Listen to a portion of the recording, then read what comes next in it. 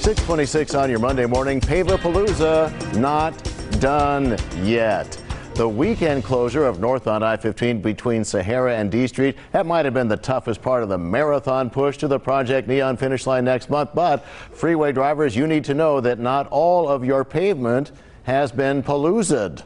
Starting at 9 tomorrow night, NDOT is taking away the southbound side of the 15. Kind of a short stretch from Russell Road down to the 215. Supposed to reopen at 5 Wednesday morning. You'll be coned off to those little collector road lanes just west of the freeway down to the 215. Shouldn't be a huge troublemaker for overnight drivers. Just follow the signs. You should be fine.